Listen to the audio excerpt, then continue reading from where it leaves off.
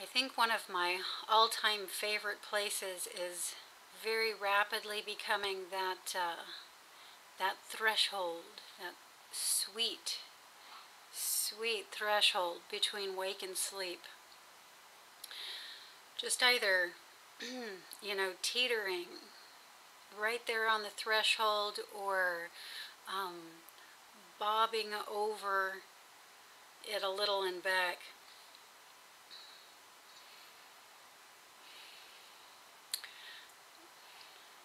It's like right up and to that threshold, um, I, I'm here. And as soon as I cross that threshold, I'm not. it's like, uh, where, where did I go? And then, you know, you come back over to the threshold or just unto it, and, you know, there I am again. I play around with this, this space a lot. I, I don't know how many of you do this too. Um,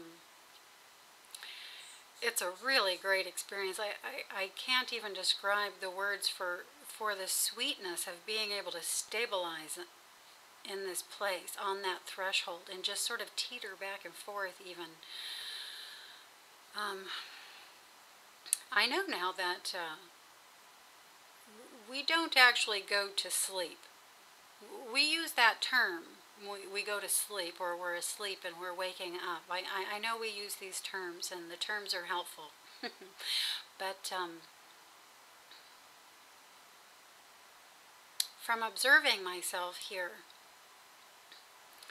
um, I can tell that more accurately what's happening is there's a place in which I uh, am recognizing myself. And then as soon as I reach the threshold of that and cross it, I'm no longer recognizing myself. It's not so much that I'm going to sleep as I don't recognize that as me. But the more I do this, the more I play around with this threshold and the space on either side of it, so to speak, um, the more I'm, I'm recognizing myself on the other side. Um, it's all still very vague right now. Um,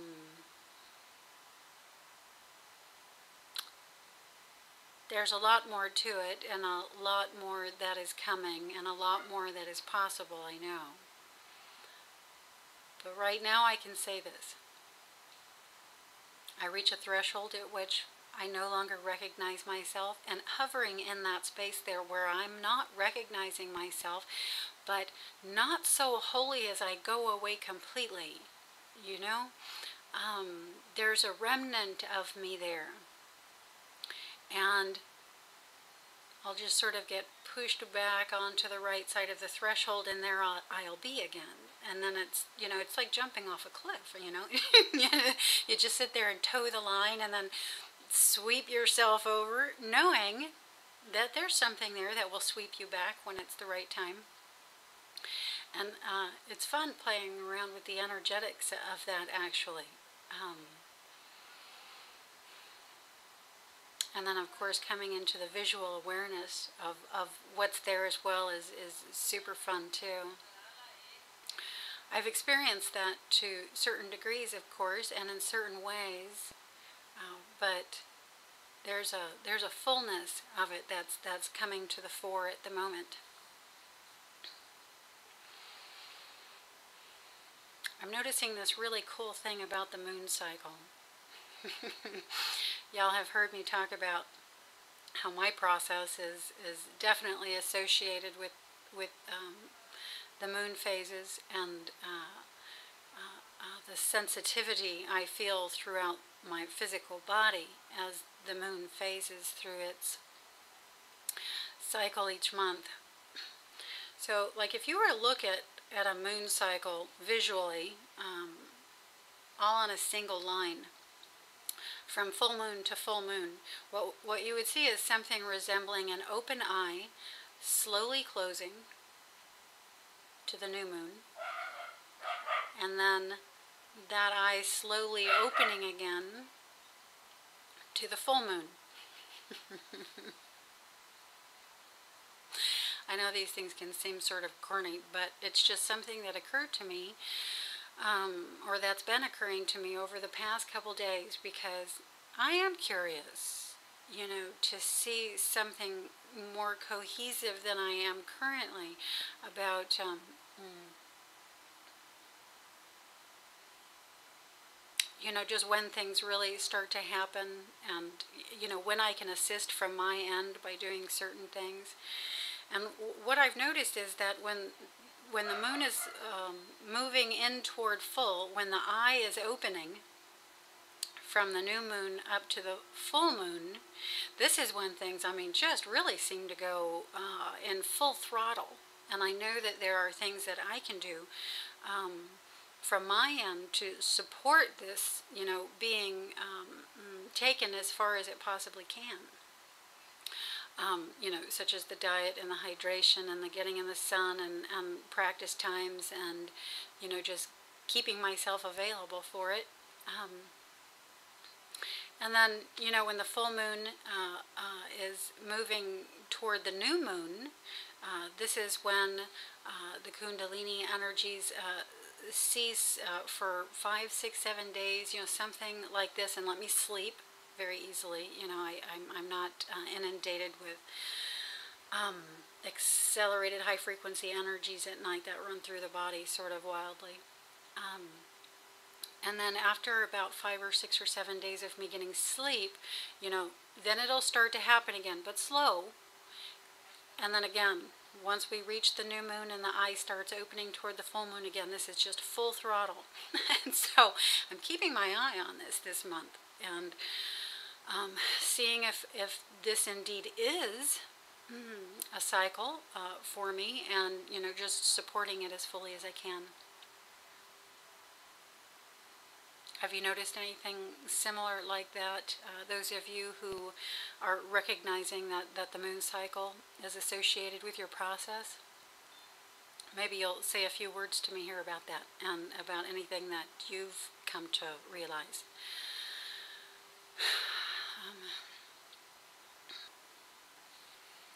This morning I came lucid again at the mall. How many of you visit the mall? or come lucid in the mall?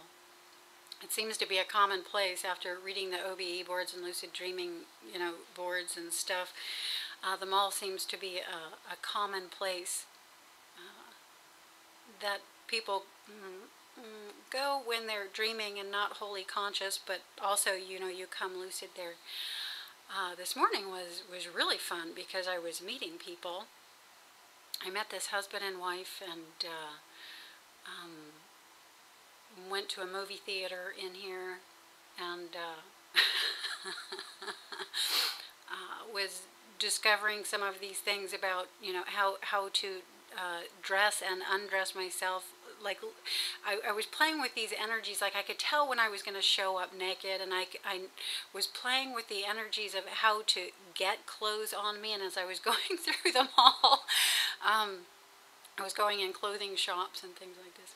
But uh, the funnest part were the were the people I met and mostly I was going through the mall asking people trying to wake people up asking people if they realized they were dreaming and I met this one man who said yes. He was the first one that I asked.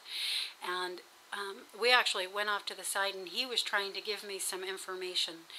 Um, again, about uh, safety and, and uh, being dressed and things like this along this line.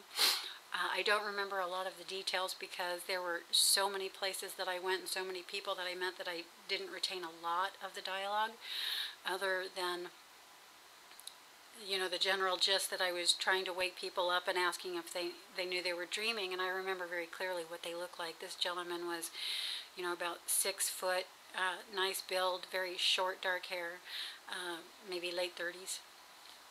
And then uh, um, a woman at the cookie counter, I, um, uh, an older woman, sort of white blonde hair, and she didn't. She was really surprised, and she actually took a minute, and she was trying to figure it out. Like, like that made sense to her, and she was she was she was trying to get it. She was trying to wake up. So cool.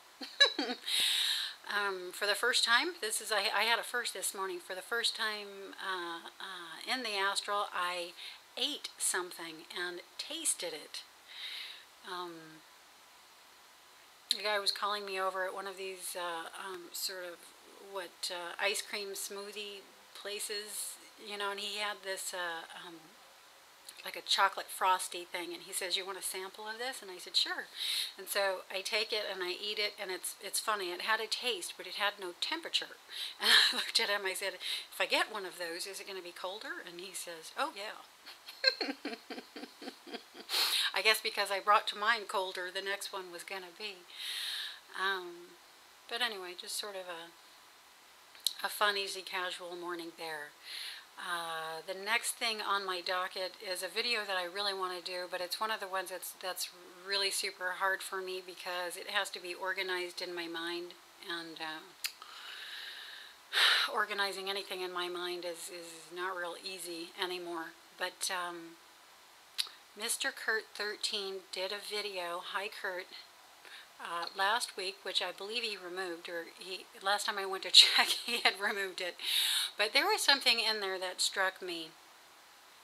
Um, and I wanted to do a video related to whether lucid dreaming is a sign of waking up. Uh, because I have a lot to say about this.